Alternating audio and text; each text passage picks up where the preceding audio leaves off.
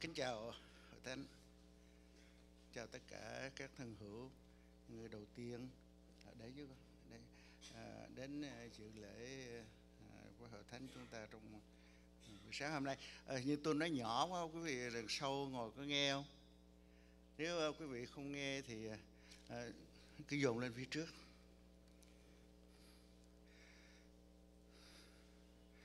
À,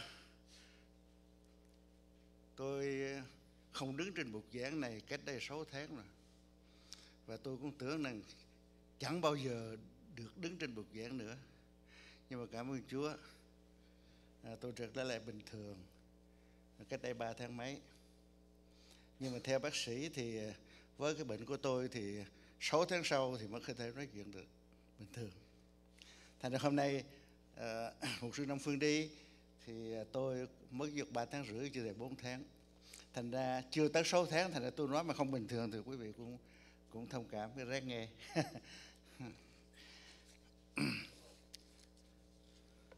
À, trước hết thì à, à, có vài ý kiến trước để tôi à, chia sẻ không hồi tôi giảng rồi à, quên.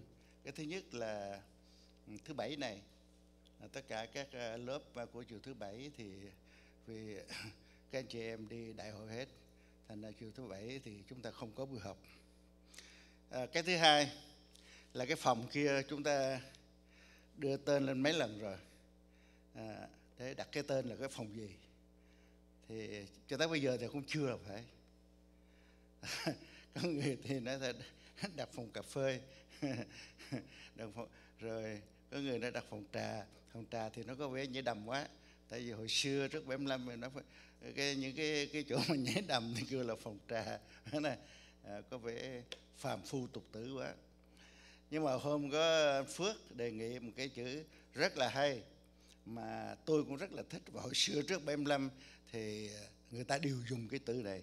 Nhưng mà khi cộng sản chiếm rồi tôi thấy không có sử dụng tức là phòng khánh tiết. À, à các anh chị em ở đây lớn tuổi thì mới biết cái phòng khánh tiết. Còn trung niên thì cỡ 50 tuổi trở lại chắc không biết khánh tiết là gì đâu. Cái phòng khánh tiết là, hồi xưa đó, ở trước cái cơ quan công quyền của Việt Nam Cộng Hòa đó, thì họ có một cái phòng thế này. Nhưng mà trước họ cũng có một cái phòng như vậy, họ gọi là cái phòng khánh tiết. Tức là cái phòng đó để những người mà họ trước khi họ vào trong cái phòng này, họ ở cái chỗ đó họ nói chuyện, họ tâm tình họ vui vẻ có thể họ ăn sáng họ uống cà phê trước khi mà họ họ họ vào họ nhóm. Tức là họ có cái tâm tình ở tại cái phòng đó. Cái chữ khánh tiết có nghĩa là cái cái cái cái phòng vui vẻ cái chỗ mà gọi là thân mật. À, cái chỗ là gọi là thân mật trước khi vào nhóm. Đó là cái cái ý từ của chữ khánh tiết. Ừ.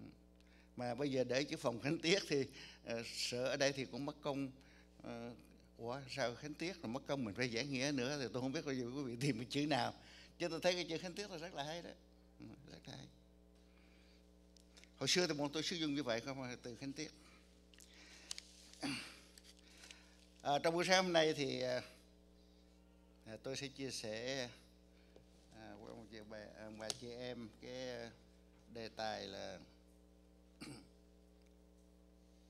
sự sống lại và sự sống à, cái câu câu gốc mà tôi để là trong câu 26 ở đây kinh thánh cho chúng ta thấy ờ, trong câu 26 còn ai sống mà tin ta thì không hề chết. Ngươi tin điều đó chăng? Và chúng ta đến một lần nữa với Chúa trong sự cầu nguyện. Để Chúa kính yêu của chúng con giờ này con đứng trên một giảng để chia sẻ lời Chúa nguyện Chúa Thánh Linh ngày mở miệng thuộc linh của chính mình con. Và tay thuộc linh ông bà anh chị em chúng con để hầu cho người nói và người nghe tiếp thu được lời Chúa trong đời sống để chúng con sống đẹp ý Chúa. Chúng con cảm tạ ơn Chúa và cầu nguyện Chúa. Nhân danh Đức Chúa Giêsu Christ. Amen. À, phần chia sẻ của tôi nó bốn phần. Thứ nhất là sự sống là gì? Và thứ hai sự sống lại là gì? Và thứ ba là sự sống đời đời ở trên trần gian đó là cái gì? Nhưng mà ba cái điều đó có thể tôi nói quý vị dễ hiểu nhưng mà thực hành thực hành được ba cái điều đó nó khó lắm quý vị. À, trong ba tháng nay một sư Nam Phương chia sẻ rất là hay và rất là đúng ý nghĩa của đạo tin lành. Tức là chúng ta từ đâu mà đến từ đâu mà có và chúng ta sinh ra đời để làm gì và chúng ta thờ phượng ai? Tức là phải thờ phượng Đức Chúa Trời. Một nửa thời gian trong ba tháng, một sư Nam Phương chia sẻ về cái nguồn gốc của đạo tin lành về Đức Chúa Trời và chúng ta trời sinh trời dưỡng. Rồi một nửa thời gian sau, một sư Nam Phương chỉ cho chúng ta cái cách mà chúng ta làm đẹp lòng Chúa, cái cách thờ phượng, chúng ta phải hết ý, hết linh hồn mà chúng ta phải thờ phượng Chúa. Lời chia sẻ của Nam Phương rất là hay, nhưng mà tôi tin rằng khó quý ông bà chị em, khó hết sức, hết linh hồn mà quý vị thờ thượng Chúa lắm. Bởi vì sao? Bởi vì quý vị đi tin lành, nhưng mà chưa chắc quý vị đã tin một cách trăm phần trăm Đức Chúa Giêsu không nè? Tại vì tin lành không có đưa Đức Chúa Giêsu lên bàn thờ để mà thờ, cho nên quý vị không có thấy. Cho nên cái tin trăm phần trăm để làm trọn vẹn cái đức tin của mình cho Đức Chúa Giêsu rất là khó rất là khó. Thành ra buổi sáng hôm nay, mặc dù đề tài tôi chia sẻ có bốn phần, nhưng mà cái phần chót, tức là phần thứ tư, là cái phần mà làm sao, tôi chỉ ra cái bí quyết làm sao mà chúng ta có thể yêu Chúa hết ý và hết linh hồn được. Nó có phải, nó có cái cách để chúng ta mới mới làm được. Bởi vì thí dụ như bây giờ, tôi nói là quý vị phải thương cha, thương mẹ mình hết ý và hết linh hồn thì ờ, quý vị làm được không nè? Tại quý vị biết cha biết mẹ mình không nè? Còn ở đây quý vị không thấy Giêsu không thấy Đức Chúa Trời. Giêsu có hai ngàn năm trước. Thì làm sao mà quý vị hết ý hết linh hồn mà thờ phượng được phải không nè? có thể là hết ý hết linh hồn mà làm theo cái ý Chúa được. Ở trong tư tưởng của quý vị nó có những cái cái cái cái mờ mờ à, Phaolô nói rằng khi quý vị chưa gặp Chúa một cách thực sự thì cái tấm màn nó còn che cái tư tưởng của quý vị. Cho nên quý vị không thể hết ý hết hồn cho quý vị thờ phượng được. Rồi hôm nay tôi muốn chỉ cho các ông bà chị em một cái cách để mà quý vị quý ông bà chị em thờ phượng Chúa một cách hết ý hết linh hồn và bằng cái tấm lòng của mình. Bây giờ cái thứ nhất à, tôi muốn à, nói về cái sự sống là gì? Quý vị thấy cái chữ sự sống đó, nó nó dễ phải này? Chúng ta đang sống đây là sự sống, phải không là chúng ta đang sống mà. Nhưng mà chúng ta sống đây không phải là sự sống. Vì cái, chúng ta đang thở, đang mở mắt, chúng ta đang hít không khí, chúng ta đang ăn, đang uống, đang làm mọi việc trên đời này. Đó là sự tồn tại của cái sống, chứ không phải sự sống. Sự sống là chỉ có đức chúa trời mới có sự sống. Là vì sao? Sự sống là sự thần thượng và vĩnh cửu cái sự sống mà của đức chúa trời ban cho chúng ta là từ trên trời xuống, và khi chúng ta nhận cái sự sống của Đức Chúa Trời thì chúng ta nhận nguyên cái bản chất của Đức Chúa Trời. Quý vị nhớ tuần trước một sư Nam Phương có nói là thiên thượng, có dùng chữ thiên thượng. Thiên thượng là gì? Thiên thượng là cái gì ở bên trên. Phải này? Cho nên khi cái sự sống của Đức Chúa Trời, nó chỉ có hai phần mà sự sống của con người không có và chỉ có sự sống Đức Chúa Trời mới là sự sống bởi vì sự sống Đức Trời là sự sống thần thượng. Vì cái sự sống Đức Chúa Trời ban cho chúng ta là ban cả Đức Chúa Trời cho chúng ta. Vì cái bản chất Đức Chúa Trời là thánh khiết, công bình, là trung tín, là nhân từ. Thì tất cả cái sự sống đó, khi chúng ta tin Chúa thì tất cả sự sống đó của Đức Chúa Trời, bản tính của Đức Chúa Trời nó vào trong chúng ta. Nhưng mà cái điểm quan trọng thứ hai là khi chúng ta có cái cái cái bản tính của Đức Chúa Trời, ta có cái sự sống của Đức Chúa Trời, tức là ta sự sống vĩnh cửu, tức là không bao giờ chúng ta bị chết, không bao giờ nó mất. Đó. Cho nên một người mà có sự sống của Đức Chúa Trời là người đó có bản chất của Đức Chúa Trời và cuộc sống vĩnh cửu, tức là không bao giờ chết. Nói như thế, à, quý vị nói ủa rồi có một ngày 80 tuổi thì như một sư nhẫn thì tám 80 tuổi rồi bây giờ tới ngày rồi một sư cũng chết không phải cái chết ở trong kinh thánh mà theo lời Chúa đó cái chết về tâm linh. Còn cái chết thể xác nó không phải là cái thế, cái chết thể xác một ngày chúng ta qua đi qua đời đi thì chúng ta mở cái cánh cửa mở ra một cái cuộc đời mới. Cho nên ở trong tin lành ở trong kinh thánh không có cái sự chết. Nếu chúng ta tin Chúa bởi vì thể xác chúng ta mất đi nhưng mà tâm linh chúng ta còn đời đời nếu chúng ta có tin Chúa. Còn những người không tin Chúa thì họ mất thể xác và họ cũng mất linh hồn luôn, họ mất tâm hồn luôn. Cái đó là cái sự chết. Đó là cái cái cái sự sống à, à, à như tôi chia sẻ đó. Bây giờ cái phần thứ hai à, cái phần thứ hai là sự sống lại là gì ở trên cõi đời này, trong tất cả các giáo chủ, tất cả những người đứng đầu các tôn giáo, không có một ông giáo chủ nào mà chết đi mà sống lại. Chỉ có Đức Chúa Giêsu chỉ có Đức Chúa Giêsu tại sao Đức Chúa Giêsu phải sống lại?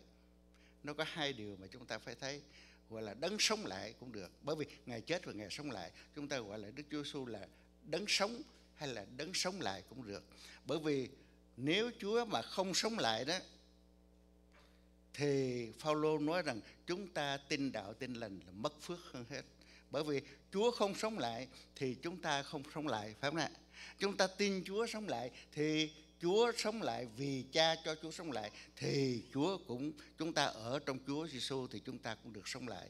Cái đó là cái bảo đảm, cái thứ nhất. Sở dĩ mà Chúa sống lại đó là cái sự công bình của Đức Chúa Trời. Đức chúng ta tất cả chúng ta là mang là tội lỗi. Mà bây giờ ngài sai Đức Chúa Giêsu xuống chết trên thập tự giá để cứu tội lỗi của chúng ta. Mà nếu ngài chết luôn á, thì Đức Chúa Trời không phải là công bình. Bởi vì một người vô tội mà bắt xuống đây gánh tội của chúng ta rồi chết chết luôn như vậy là nếu mà ngài không không lại thì đức chúa trời không phải là công bình. Đúng không? Cho nên ngài sống lại vì sự công bình của đức chúa trời. Nhưng cái điểm hai quan trọng nữa là ngài sống lại để qua một cái dạng khác. Đức chúa trời thì chúng ta không thấy. Và muốn cho thấy được thì đức chúa trời biến thành đức chúa giêsu và Đức Chúa Giêsu thì chúng ta thấy Đức Chúa Giêsu thì vẫn người với người như thế này, Ngài chỉ dạy chúng ta nhưng Ngài không vào trong chúng ta được. Cho nên Ngài chết, Ngài cái nhân tính của Ngài nó bị mất đi thì còn cái thần tính. Cái thần tính đó là thánh linh sẽ vào ở trong chúng ta. Cho nên Phaolô nói rằng, các các người biết là thân thể này là cái đền thánh đền thờ và thánh linh ngự ở trong cái đền này. Như vậy thì nếu Đức Chúa Giêsu không chết, Đức Chúa Giêsu không qua một cái cái cái cái cái dạng khác là Thánh Linh, thì Đức Chúa Giêsu không ngự vào trong chúng ta được. Cho nên cảm ơn Chúa vì sự chết lại sự sống lại đó. Là chúng ta mới có được Đức Chúa Trời ở trong chúng ta. Nếu Chúa Giêsu không chết thì Đức Chúa Trời không có ở trong chúng ta được. Bởi vì Đức Chúa Giêsu là có nhân tính Ngài có thần tính nhưng Ngài, Ngài có nhân tính thì nhân tính nó không thể vào trong chúng ta được. Nhưng phải thần tính mới vào trong chúng ta được thì Ngài vào trong chúng ta thì biến chúng ta thành là cái đền thờ của Đức Chúa Trời. Nhưng mà cái điểm hay của nữa là Đức Chúa Giêsu là Ngài nói là ta là sự sống lại, có nghĩa là Ngài là sự sống lại. Khi Ngài ở trên đất này, Ngài dạy dỗ mỗi chúng ta thì mỗi chúng ta nó chỉ là một cá thể mới chỉ một cá thể nhưng mà khi ngài chết đi nhân tính bị biến đi như hột lúa mì thì thần tính của ngài vào trong mỗi chúng ta thành ra vào trong tín đồ trước, vào trong sứ đồ trước, rồi từ sứ đồ qua các môn đồ và truyền cho chúng ta từ bây giờ. Thành mỗi chúng ta bây giờ là tín đồ, là con cái của Chúa. Trước đây, chúng ta chưa tin Chúa, thì chúng ta sống với tính cách cá nhân. Này này. Nhưng mà khi chúng ta tin Chúa, thì Chúa đã biến những người tin Chúa để thành một cái hội thánh thì chúng ta là con cái Chúa ở trong cái hội thánh thì chúng ta là một chi thể của cái thân thể của Chúa. Chúng ta phải để ý thế này này, hội thánh không phải là cái gì khác hơn, hội thánh tức là thân thể của chúa, mà mỗi người ngồi ở đây là mỗi chi thể của chúa. Trước đây chúng ta tin, không tin chúa thì chúng ta sống với lại bản tính của mình, sống với lại cho mình mình làm cái gì cũng cho mình. Nhưng khi chúng ta là một tín đồ, chúng ta một tín hữu, thì chúng ta là một chi thể của cái thân thể hội thánh này, thì cái chi thể này sống cho cái thân thể này. Thành ra chúng ta không thể sống riêng cho chúng ta được nếp sống của chúng ta ở đây là chúng ta sống cho nhau. À, chúng ta sống vì mọi người. Và vì mọi người như vậy chúng ta sống cho mọi người thì mọi người mới sống cho chúng ta được. Cho nên tôi thưa với ông bạn chị em và tôi thường nói rất là nhiều lần là quý vị thương gia đình thương cha thương mẹ thương anh chị em thương dòng tộc điều đó nó không sai. Nhưng mà nếu đặt cái gia đình dân ờ, dòng tộc của mình lên trên hội thánh thì đó là quý vị sai. Bởi vì sao? Bởi vì cái dòng máu mà chúng ta với lại cha mẹ, ông bà bà con chúng ta, đó là huyết thực tế, huyết thiên nhiên. Còn chúng ta ở đây là anh chị em với nhau là kết bởi cái dòng huyết báu của Chúa. Cho nên, khi quý vị ngồi đây, quý vị ở trên đất Mỹ này khi chúng ta bị hoạn nạn khi chúng ta bị đau khổ thì chính những cái người ở trong hội thánh này là an ủi và tiếp xúc với chúng ta. Chứ gia đình chúng ta ở Việt Nam không có ai không có ai tiếp xúc không có ai tiếp xúc ờ, ở với chúng ta được hết. Quý vị bây giờ ngồi đây gia đình bên Việt Nam còn quý vị gửi tiền về Việt Nam nhiều chứ Việt Nam có bao giờ gửi tiền cho quý vị đâu đúng không? À, thành ra hội thánh là thân thể của Chúa và chúng ta ở trong hội thánh thì chúng ta phải sống vì hội thánh. Chúng ta phải sống vì hội thánh. Có người nói là tôi đi tôi đi nhà thờ lâu quá mà tôi không thấy gì. Ừ, đời sống tôi không có gì khác hết. Thưa quý ông chị ờ, ông bà chị em, đúng, quý vị đi nhà thờ năm này qua năm kia mà nếu quý vị không sống cho Chúa thì quý vị không bao giờ cảm nhận được cái sự lớn lên của mình đâu. Không cảm nhận được. Quý vị mới sinh ra thì oe oe ba tiếng chào đời. Cho tới quý vị bây giờ ngồi đây, cái lớn từ mới lọt lòng mẹ, cho tới bây giờ quý vị đâu có thấy quý vị lớn, phải không nè? nhưng mà mỗi ngày quý vị lớn chúng ta không thấy. Thành ra chúng ta đi nhà thờ, chúng ta lớn mà quý vị không biết. Trừ trường hợp có những tín đồ 911 tôi gọi là tín đồ 911 là sao? Là chỉ khi nào mà cần thiết lắm thì mới đi nhà thờ để mà được cầu nguyện. Tôi nhớ có ông bạn uh, tới tôi nói cho uh, nhà tôi gặp cái sự ờ, không có gì uh, một sư cầu nguyện giùm cho tôi. Tôi nói tôi cầu nguyện thì dễ thôi Tại tôi cầu nguyện chừng năm ba phút thôi. Nhưng mà cái vấn đề tôi cầu nguyện có có công nghiệm cho anh hay không, cho gia đình anh hay không. Bởi vì trên nguyên tắc tôi cầu nguyện cho người nào đó thì người đó cũng phải cũng phải có cái tấm lòng thương Chúa. Bởi vì tôi nhân danh Chúa mà tôi cầu nguyện cho các anh. Nhưng mà các anh không nhân danh Chúa các anh tiếp nhận thì đâu có được đâu phải không ạ à, thành ra rồi cũng có người tới nói nhờ tôi thì uh, làm cái ký cái giấy để mà uh, cho kết hôn. Bởi vì chỉ có một sư với lại uh, uh, các linh mục thì ký được tôi chấp nhận. Nhưng mà nếu tôi ký cho anh thì dễ thôi. Chỉ một chữ ký, đúng không? Nhưng mà cái vấn đề là tôi có làm thực cái chuyện đó hay không? Nếu con cái chúa ở trong hội thánh, một người tin lành thì tôi ký không sao hết. Bởi vì tôi ký như vậy nó có cái phơi hơn. Phải không? Thành ra đó, cái điều đó chúng ta thấy rằng nếu chúng ta là tín hữu 911 thì chúng ta không bao giờ cảm thấy Chúa chỗ nào hết. Bây giờ tới cái điểm thứ ba là à, bây giờ tới cái cái điểm cái điểm thứ ba. Sống đời đời. Ở đây trong kinh thánh cho chúng ta thấy còn ai sống và tin ta thì không hề chết người tin điều đó chăng? Quý vị sống bây giờ phải không? Mà quý, Chúa nói này quý vị sống mà quý vị tin Chúa thì không bao giờ chết. Cái câu nó khó nghe phải không nè? Ủa thì đằng nào đến 80 triệu 80 tuổi 90 tuổi cũng phải chết phải không? Như vậy thì cái câu này Chúa nói có vẻ sai đó này nhưng mà không. Tôi nói cái chết hay là cái sống với Đức Chúa Trời và theo Kinh Thánh nó không phải là cái thể xác này chết mà cái quan trọng là cái tâm linh.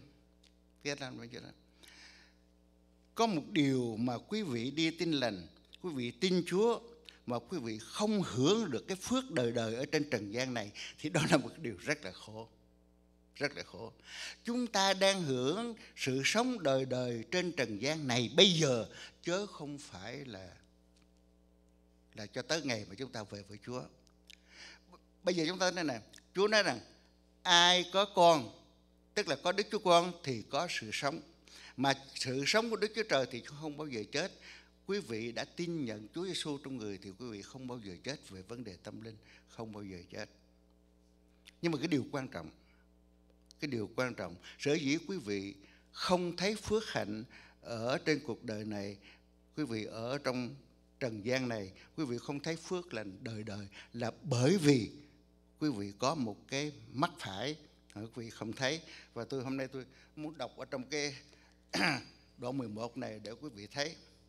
Cái bà ma thê, người người rất là thương chúa. Đó. ở đây kinh thánh cho chúng ta thấy nè. Ma thê, khi mà chúa đến chúa đến nhà bà, ma thê thưa rằng, thưa với đức chúa trời, đức chúa giêsu rằng, lạy chúa, nếu chúa có đây thì anh tôi không chết.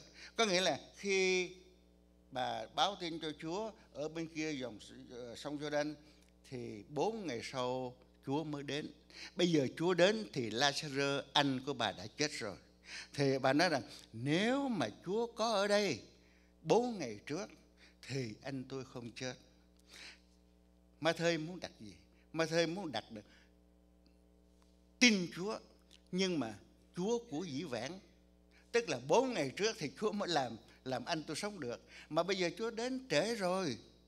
Phải không? Thành ra đôi khi chúng ta không nhận Chúa trong hiện tại mà chúng ta lại thấy cái quyền năng của Chúa ở trong quá khứ. Quý vị ngồi đây thì quý vị nói rằng hồi xưa ờ, Đức Chúa Giêsu làm cái chuyện này làm chuyện kia hóa nước thành rượu rồi có thể cứu người ừ, người đuôi người bại rồi này kia đó là hồi xưa. À, còn bây giờ thì chắc không có. Thành ra cuộc sống chúng ta không phước hạnh là vì chúng ta không nghĩ Đức Giêsu hiện bây giờ ở với chúng ta. Mà chúng ta cứ nghĩ rằng trong quá khứ, thành ra đặt Chúa Giêsu vào trong quá khứ giống như ma thơi nói rằng bốn ngày trước mà Chúa đến thì anh tôi mới sống, anh tôi sống. Đó là cái trường hợp thứ nhất. Cái trường hợp thứ hai là Chúa nói là gì? Anh ngươi sẽ sống lại. Thì bà nói là, tôi biết tôi biết anh tôi sẽ sống lại, nhưng mà ngày sau rốt thì anh tôi sẽ sống lại. Bà đưa Đức Chúa Giêsu về dĩ vãng, rồi bây giờ bà kéo Đức Chúa Giêsu vào tương lai. Tức là cái phước hạnh của Đức Giêsu chỉ trong tương lai thôi. Tức là tôi sống lại là khi tôi chết, tôi qua đời rồi thì tôi mới sống lại. Nhưng giữa thời gian này tôi không có sống lại được. Thành ra mỗi ông bạn chị em chúng ta không đặt Chúa Giêsu ở trong hiện tại thành ra chúng ta không thấy cái phước hạnh mà chúng ta hưởng cái phước hạnh của của Đức Chúa Trời ngay từ bây giờ bây giờ cái phước hạnh đời đời là gì là chúng ta có Đức Chúa Giêsu, chúng ta sống đời sống của Đức Chúa Giêsu và chúng ta có Đức Chúa Giêsu hiện diện trong đời sống chúng ta. Và khi có sự sống của Đức Chúa Giêsu thì đánh tan mất tất cả những cái gì mà chúng ta có. Như vậy thì chúng ta hiện bây giờ có Đức Chúa Giêsu là chúng ta đang sống với Chúa thì chúng ta như sống với thiên đàng, với Đức Chúa Trời, với thiên đàng. Rồi một ngày mai kia dĩ nhiên khi chúng ta qua đời thì chúng ta sống với thiên đàng. Nơi đó không có nước mắt. Cái chuyện đó là cái chuyện ngày sau. Còn cái chuyện bây giờ này cái cuộc sống của chúng ta là có chúa. Mà nơi nào có chúa thì nơi đó là thiên đàng là nước sống đời đời. Thành quý vị bây giờ có chúa thì quý vị đang thụ hưởng tất cả những cái điều đó. Và khi quý vị có sự sống của Chúa thì quý vị được tái sanh để thành một con người mới. Và khi quý vị có sự sống của Chúa thì tất cả những cái những cái cái ham muốn của quý vị nó không còn ở trong cuộc đời nữa. Và chúng ta phước hạnh là vì chúng ta không có vì cuộc đời này, không có vì của cái vật chất tạm thời này mà chúng ta đau khổ quý vị có đau khổ không? Thành ra quý vị thấy ở trong uh, uh, văn đoạn 4 đó, khi Chúa nói với người một người đàn bà Samari đó à, Chúa nói sở dĩ mà bà khổ là bởi vì bà gì? Bà có năm đời chồng. Là vì sao? Bởi vì cái một đời chồng trước á, thì bà thấy không có tốt phải không này? Rồi bà lấy bà bỏ người chồng trước bà lấy người chồng thứ hai cũng không tốt nữa không không vừa ý rồi lấy người chồng thứ ba, người chồng thứ tư, người chồng vẫn không đồng ý. Là vì sao? Là vì cái đời sống đó nó đòi hỏi nhiều thứ quá, mà cái tài năng của mình nó không tới đó mà bây giờ lại bắt đòi hỏi.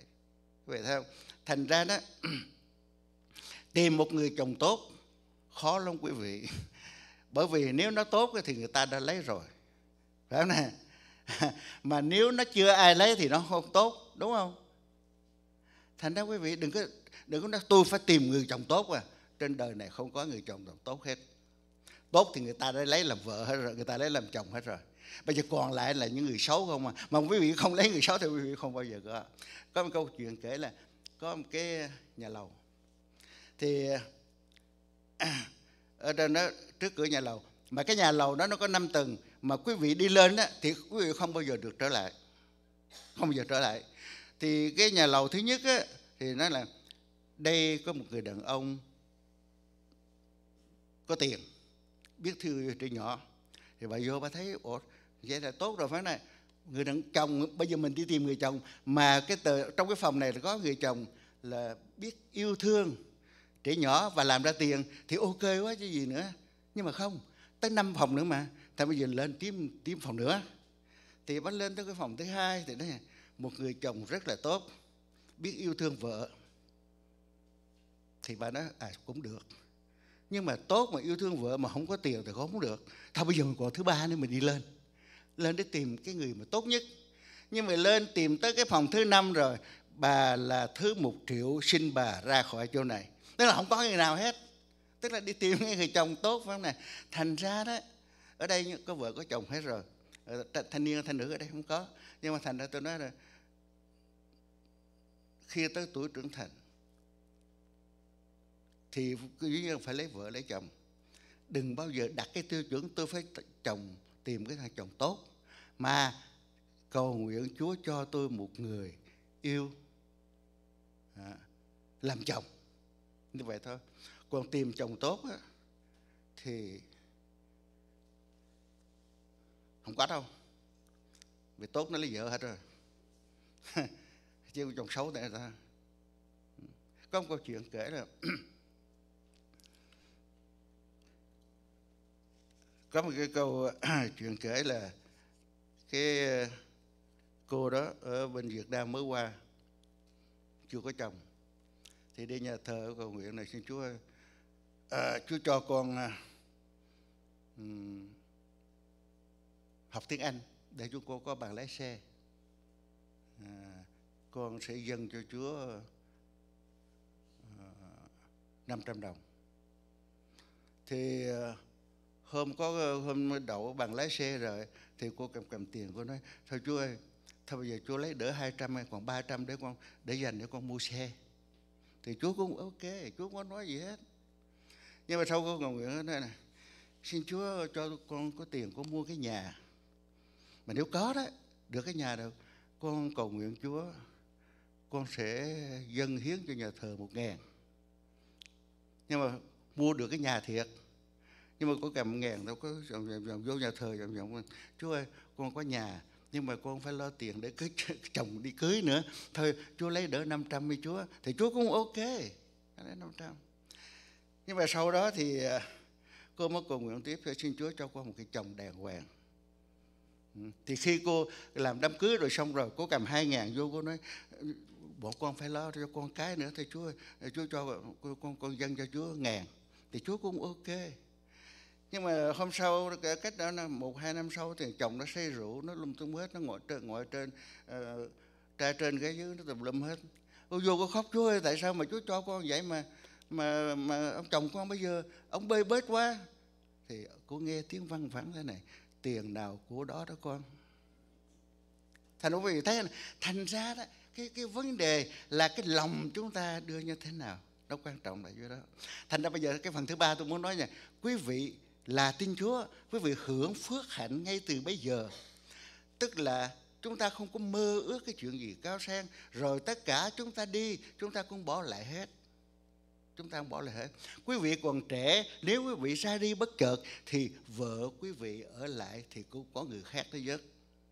Đúng không? Rồi quý vị làm cho đầu tắt mặt tối mà quý vị ra đi rồi, chồng quý vị ở lại cũng có thằng khác đó chứ. Cũng có cô khác đó chứ Tôi nói như vậy không phải để gây cho chúng ta cái bất mãn. Nhưng mà tôi nói như vậy để quý vị biết là chúng ta đang sống trên thế gian này chứ không phải là thế ngay. Cho nên chúng ta đừng có đầu tư hết tất cả, hết ý, hết hồn mà để cho cái cuộc đời này. quý vị có tiền chưa chắc đã hạnh phúc chưa chắc đã sống hạnh phúc đâu quý vị. Cái người giàu nhất ở ở nước Mỹ này là ai? Mà cả thế giới nữa là chủ Amazon phải không ạ? Hai trăm bảy mấy tỷ hai trăm bảy mươi mấy tỷ rồi vợ chồng cũng chia lên. Mỗi đường anh anh đi đường em em đi tình nghĩa đôi ta chỉ thế thôi rồi ra đi chia nhau mà quý vị biết một tỷ mà quý vị tính ra để một đô la đó mà một tỷ bằng một một, một đô la quý vị tính từ năm 10 tuổi cho tới năm 60 tuổi mới hết cái một tỷ đó. Thì quý vị tỷ tiền nó ghê gớm. Bill Gates Bill Gates là mấy? Trăm bảy mươi lăm tỷ.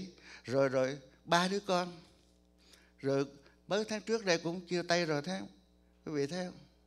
Thành ra đó chúng ta thấy rằng cái hạnh phúc của chúng ta là thỏa lòng chứ không phải hạnh phúc chúng ta là chỉ có đủ thứ. Quý vị thấy ồ cái nhà ông kia đẹp quá. Tôi muốn cái nhà đó. Quý vị biết không? Có khi họ nằm trong cái nhà đó mà họ biết là tháng tới này covid này mình làm không nổi có tiền trả cái tiền nhà hay không? Phải không ạ cái xe tốt. Không biết covid này mình không đi làm được. Cái, cái xe này mình còn có giữ không? Quý vị chưa thấy. Quý vị chưa thấy cái người giàu mà họ tới họ cầu xin. Họ cầu xin là cho cho cho nợ cho con hết rồi để cho cái này cho cái kia hết quý vị thấy cái đau khổ của người giàu lắm. Không phải là là là là, là thì, à, có tiền bạc là giàu đâu. Người Việt Nam mình có phải không? Quan chức càng cao càng nhọc sát quan to tiền nhiều lòng những lo chỉ tổ làm cho đầu trong bạc. Bây giờ quý vị ở đây có người nào có một triệu không? Không có đâu. Nếu một triệu thì họ bây giờ họ ở ngoài rồi. Họ không có thoải họ không có ngồi vui vẻ như quý ông bà chị em ở đây đâu à. ngay cả thế bây giờ, tôi muốn nói thế giờ quý vị ăn cái bữa cơm thanh đạm, phải không nào? Sau bữa cơm rồi, quý vị dọn dẹp nó gọn gàng lắm. Thông thả nó gọn gàng lắm. Quý vị ăn một bữa tiệc linh đình, thịt cá ơi hề, quý vị ăn xong quý vị nhìn cái bàn nó ghê gớm lắm. Đúng không? Nhìn cái bàn nó ghê gớm lắm thành ra, chúng ta phải thấy rằng khi chúng ta đơn giản chừng nào thì đời sống chúng ta phước hạnh chừng đó. Mà chúng ta cầu kỳ thế nào thì đời sống của chúng ta nó phức tạp tới đó. Nó phức tạp tới đó. Ăn một bữa đại tiệc thì chén bát, tùm lum hết, xương xấu nó tùm lum hết. Còn ăn bữa cơm nguội với cá, với lại cá cơm thì quý vị xong cái vợ cái chén chồng chén, rồi dẹp vô, ok thì hai vợ chồng bắt đầu đi chơi nó có những cái thoải mái của nó à. rồi, bây giờ cái điểm thứ tư là cái bí quyết này là làm sao để chúng ta thờ phượng Chúa một cách hết ý, hết linh hồn. Cái thứ nhất, tôi muốn đưa cho các anh em thế này cái thứ nhất là chúng ta phải tin tưởng Chúa một cách tuyệt đối. Ờ, còn, quý vị chỉ còn 9 phút nữa phải tin Chúa một cách tuyệt đối mà quý vị có để ý thế này, cái quyển kinh thánh nó có mấy ngàn câu. Mà chữ đức tin cứ lặp đi lặp lại bao nhiêu lần. Nhưng mà cái định nghĩa đức tin như thế nào là chỉ có một câu thôi. Một câu định nghĩa đức tin thôi. Là ở trong Hebrew đoạn 11 câu 1 tức là tin là mình biết chắc một cách vững vàng những cái gì mà mình ước mong. Và mình tin cái điều mà mình chưa thấy.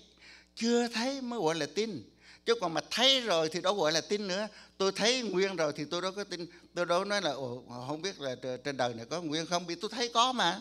Nhưng mà không có nguyên nhưng mà tôi tin rằng có nguyên ở trên đời này. Tin tôi không thấy tôi tin. Và chúng ta tin đức chúa trời cũng vậy. Và chúng ta phải tin rằng đức chúa trời là sự sống của chúng ta. À, khi chúng ta tin là chúng ta đối diện với chính Đức Chúa Trời và chúng ta phải tin tuyệt đối vào tình yêu của Chúa. Vì Chúa nói rằng ở trong à, văn đoạn 3 câu 16 đó, vì yêu thế vì yêu thế gian đến nỗi mà ban con một. Mà khi đã ban con một cho chúng ta rồi thì ai nhận con đó thì không bị hư mất mà được sự sống đời đời. Vì thế tin một cách tuyệt đối về tình yêu của Chúa. Cái thứ hai phải tin vào cái sự cứu rỗi của Chúa. Đức Chúa Giêsu đến trần gian này chỉ có một mục đích duy nhất là để gánh tội lỗi của chúng ta và cứu chúng ta ra khỏi cái vòng ô nhục của tội lỗi để chúng ta vào ở với Chúa. Hai điều đó quý vị tin cái điều đó. Phải tin cái điều đó. Khi nói như vậy quý vị nghe, nhưng mà làm thì quý vị khó lắm. Nhưng bây giờ tôi chỉ cho quý vị cái bí quyết làm sao mà chúng ta hết ý đích hồn, hết linh hồn mà chúng ta tin một người mà chúng ta không thấy nhưng cái điều thứ nhất là chúng ta biết cái người đó, biết cái đấng đó tạo ra chúng ta cái điều quan trọng là quý vị có bao giờ để một phút, một giờ trong đời sống của quý vị để quý vị nhớ về Chúa không? Có quý vị bao giờ đếm cái ơn phước mà quý vị có ở trên đời này không? Quý vị đang ngồi đây. Có bao giờ quý vị hỏi rằng tại sao tôi bỏ cái nước Việt Nam nghèo đói để mà tôi vào trong cái nước Mỹ này, mà trên 7 tỷ người chưa vào nước Mỹ được, họ muốn vào nước Mỹ, mà tôi vào được nước Mỹ. Quý vị thấy, có trong cái hạnh phúc quý vị không thấy cái chuyện đó cho nên sở dĩ chúng ta không hết ý hết linh hồn mà chúng ta thờ phượng chúa là vì chúng ta cứ ao ước như thế nào, mà chúng ta không thấy hiện tại, chúng ta có những cái điều tốt lành mà chúng ta thấy chúng ta có con đi học chúng ta có nhà là trà không phải nhà lầu. Nhà ở đây là nhà, nhà lầu là nhà nghèo mới ở nhà lầu. À, thì chúng ta mới thấy được cái phước hạnh ngồi đếm lại cái phước. Bây giờ muốn thấy cái đó thì lòng chúng ta phải hướng về Đức Chúa Trời trong một ngày 24 tiếng chúng ta có 8 tiếng ngủ, 8 tiếng đi làm và 8 tiếng linh tinh thì chúng ta bỏ một tiếng linh tinh đó chúng ta hướng về Đức Chúa Trời. Lòng chúng ta hướng về Đức Chúa Trời trong một giây phút trong một ngày nào đó. Bởi vì cái tấm lòng là cái điều quan trọng nhất quý vị. Ở trong con người của chúng ta có ba phần. Tâm linh cái phần sâu thẳm nhất là cái phần đã chứa đựng Đức Chúa Trời cái phần thứ hai là cái phần tâm lý tức là về tâm hồn của chúng ta trí não tình cảm và ý chí. Cái phần thứ ba là thân thể của chúng ta, đầu, mình và tay chân. Nhưng mà cái tấm lòng thì chúng ta không thấy. Cái tấm lòng là khi chúng ta mang tội, chúng ta có tội, thì cái phần tâm linh chúng ta chết, chỉ còn lại cái phần lương tâm thôi. Lương tâm nó cộng với lại cái tâm hồn của chúng ta, cộng với trí óc, cộng với ý chí, cộng với tình cảm chúng ta, nó trở thành cái tấm lòng thành ra mỗi bộ phận chúng ta có ba, nhưng mà cái tấm lòng chúng ta có bốn. Bởi vì phần lương tâm nó trở về với lại với lại tâm hồn của chúng ta. Thì đó là tấm lòng. Mà cái tấm lòng là quan trọng nhất. Quý vị nhìn đằng sau tôi nè. Chúa đang gõ cửa, phải nè? Cái hình này không phải hình dưỡng để để mà thờ tượng đâu. Nhưng mà cái hình này để thấy chúa ở ngoài, chúa gõ cửa. Quý vị, chúa muốn vào với chúng ta thì chúa vào cũng được nhưng mà tại sao Chúa gõ cửa? Bởi vì cái cửa lòng của chúng ta, đây là gõ cửa này hình thức là Chúa ở ngoài Chúa gõ cửa lòng của chúng ta. Và cái cửa lòng của chúng ta là chỉ có chúng ta mới mở được. Tức là bên trong nó mới có cái nắm mở ra thì Chúa mới vào được. Cái cửa lòng chúng ta nó không có cái nắm cửa bên ngoài. Chúa bên ngoài mở không được, không ai mở được hết chỉ lòng chúng ta là chúng ta mở được thôi. Thành ra nếu chúng ta hướng lòng về chúa thì chúng ta mở cái tấm lòng ra, thì cái tấm lòng đó là cái cửa ngõ để đưa chúa vào trong tấm lòng, để vào trong tâm linh của chúng ta. Vào trong tâm linh chúng ta. Mà lòng chúng ta xấu đó, thì khép lại chúa không vào được. Và lòng chúng ta tốt, mở ra giống như công tắc điện tấm lòng chúng ta giống như công, công tắc điện. Chúng ta mở công tắc điện thì điện nó mới sáng không mở thì không sáng. Lòng chúng ta không mở lại thì Chúa không vào được. Cho nên ở trong Ezechiel đoạn 30 36 câu 26 đó nè một ngày nào đó Chúa sẽ lấy cái tấm lòng bằng đá của dân Israel để ban cho tấm lòng bằng thịt. Bởi vì chỉ có tấm lòng bằng thịt nó mới mềm mại, nó mới yêu mến Chúa. Phải không nè? Đó là dân Israel. Và dân Israel khi Chúa ra đời thì họ đã được ban tấm lòng mới. Nhưng mà họ cũng giờ này họ vẫn cũng còn cứng lòng lắm. Còn chúng ta có được tấm lòng mới chưa? Khi chúng ta tin Chúa thì tấm lòng bằng đá của chúng ta, Chúa đã cất đi và lòng chúng ta là lòng bằng thịt. Tức là chúng ta mở tấm lòng ra chúng ta yêu Chúa. Mà lòng chúng ta tốt, lòng chúng ta mở ra thì Chúa sẽ vào, Chúa sẽ cai trị đời sống của chúng ta. Cái tấm lòng quan trọng lắm quý vị. Bề ngoài nó không quan trọng một tấm lòng. Hồi xưa chúng tôi học chữ nho đó. Nó câu thế này. hữu tâm vô tướng, tướng tự tâm sinh. Mà hữu tướng vô tâm thì tướng tổng tâm diệt.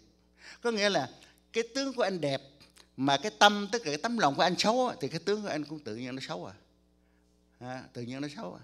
Cho nên hữu tướng vô tâm thì tướng tổng tâm diệt. Tức là cái tướng mình tốt mà cái tâm mình xấu thì cái tướng nó theo cái tâm nó bị mất đi. Nhưng mà hữu tâm vô tướng thì tướng tự tâm sinh. Tức là cái tâm mình tốt mà cái mặt của mình xấu thì tự nhiên cái lòng của mình ở trong lòng nó sáng lên cái người nó sáng sủa lắm. Và quý vị thấy không? Nó sáng lên bằng cái gì? Cái duyên quý vị thấy có những người có những người con gái mà tính ra từng cái từng cái đó, cái gì cũng tốt hết. Mũi thì cao à, mắt thì to lông mày thì rậm rồi à, mặt trái son rồi này kia. Nhưng mà kết kết cuộc lại nó nó rất là vô duyên. Nhưng mà có những người mình thấy nó không có vẻ đẹp tính ra nó không đẹp nhưng mà cộng lại thì nó lại có duyên. Cho nên cái có duyên nó đẹp hơn là cái sắc sảo là vì lòng của người đó tốt thấy không? Tấm lòng tốt. Cho nên chúa nói như thế này Esai nói thế này cái dân này cái dân này là thờ phượng ta bằng môi miếng. Ừ, thờ phượng ta bằng môi Đức Chúa Giêsu sau này đây cũng nói lại ở trong mát đoạn 15 câu câu 19 á. À, Matthew đoạn 15 câu câu 19 đó chúng nói là dân này thờ ta bằng môi miếng mà lòng chúng nó xa cách lắm bởi vì cái lòng nó mới gần gũi nhau. À, cái lần cái lòng nó gần nhau. Mà cái lòng chúng ta thì chúng ta mới biết. Không không người khác biết được. À, tri nhân tri diễn bất tri tâm. À, họa hổ họa bì nan họa cốt. Tri nhân tri diễn bất tri tâm. Vẽ con cọp quý vị đâu có vẽ cái xương đó được. Mà biết con người thì quý vị đâu có có biết cái lòng của nó phải không nào cho nên cái lòng mình mình chỉ mình biết. Và Chúa nói rằng, cái gì mà nó xấu thì từ trong lòng nó ra, chứ không phải từ ở ngoài nó vào. Cho nên lòng chúng ta tốt thì chúng ta gần gũi với Chúa hơn. Chúng ta gần gũi với Chúa hơn. Và cảm ơn Chúa, ba câu này nếu tôi phải chia sẻ, thì tôi phải chia sẻ ba tháng. Mỗi một câu một tháng. Và tôi chỉ sẽ về, thì nó hơi chụp giật. Nhưng sau quý vị, với ông bà chị em cũng thông cảm. Ờ, bởi vì thì giờ nó có hạn. Quý vị bây giờ ngồi thì chắc cũng cũng buồn ngủ cũng áp rồi ok. À, bây giờ chúng ta đến với Chúa trong sự cầu nguyện.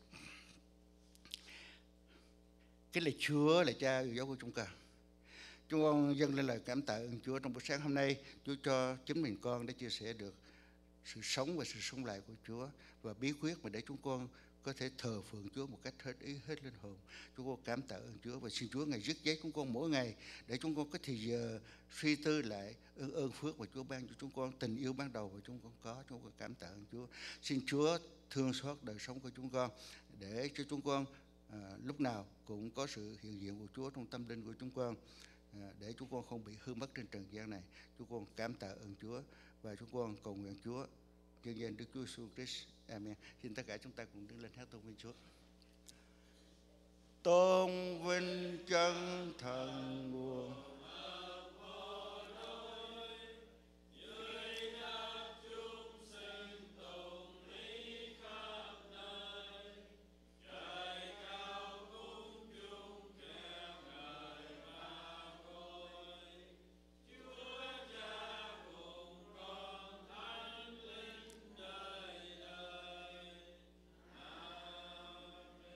trong tuần tới tôi cũng sẽ chia sẻ một lần nữa cũng cái bí quyết để quý vị có thể thờ phượng Đức Chúa Trời một cách trọn vẹn. Tức là phải ra khỏi cái mồ của mình. Lazarus ra khỏi cái mồ. Chúa biểu là Lazarus ra, ra khỏi cái mồ và lấy khăn ra và lấy dây trói. Chúng ta đừng bao giờ nằm dưới cái mồ ở trong tư tưởng của chúng ta. Và chúng ta phải mở dây trói ra thì chúng ta mới gần Chúa được. Cái lạy Chúa Giêsu Đức Chúa Trời thương yêu của chúng con. Đức Chúa Giêsu là đấng giải cứu chúng con. Và Đức Thánh Linh là ban tình yêu thương cho chúng con. Nguyện Chúa ở với chúng con từ đây cho tới ngày Đức Chúa Giêsu Christ tái lâm. Nhân nhân Chúa Giêsu Christ. Amen. Lễ chung. Cảm ơn hội thánh.